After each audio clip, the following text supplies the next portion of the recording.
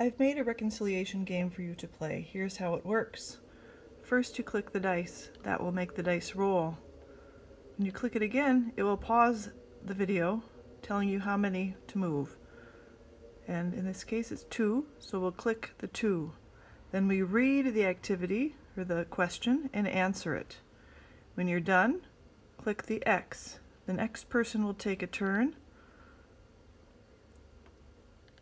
and pause and then they'll go their number.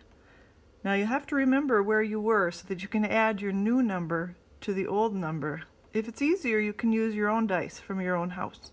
Have fun!